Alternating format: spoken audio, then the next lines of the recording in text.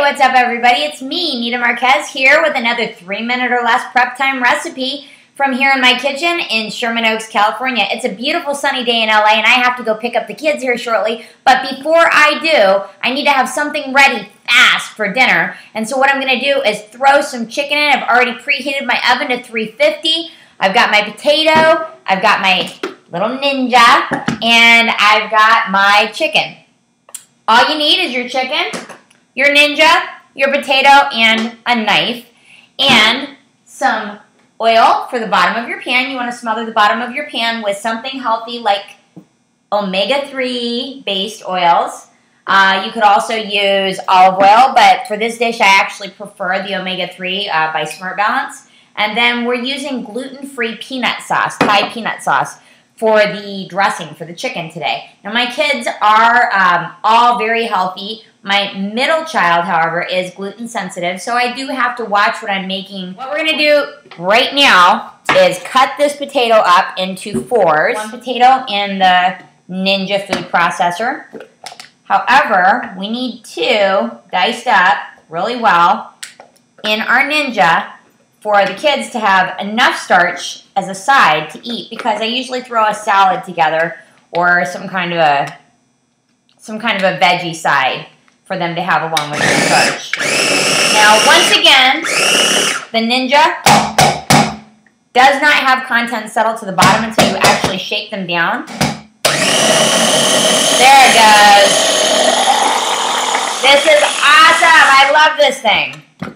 So now you have more or less what looks like a little bit of a mashed potato mush.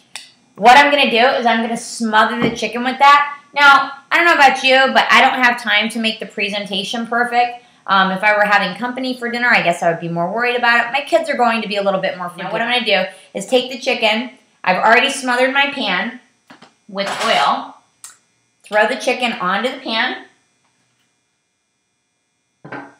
And that way when the kids are ready to eat, they can just grab a hold of a piece of chicken and dig in.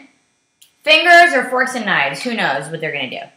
Um, going to take the potatoes and dump them right on top of the chicken. So it gets sort of like a mash. And it gets a little bit crusty, which is awesome. My kids personally enjoy that. And I do too. I guess they get that from me.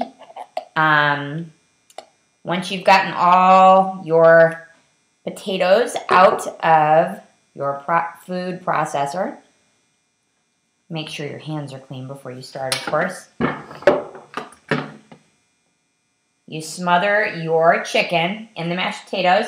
Now, I didn't tell you that I actually threw my spices into the blend before I actually started the video. So I actually had some basil and oregano, a little bit of garlic salt, and some sea salt in the mashed potatoes so that it has a little bit of flavor, uh, sort of like an Italian flavoring whenever they go to eat it, but then mixed with the spicy Thai peanut sauce, it's really a unique and very, I don't know, exotic taste. I don't know how to explain it, Italian Thai. Anyways, it's a great fusion dish if that's what it is. It takes three minutes or less to prepare, and um, that's pretty much it.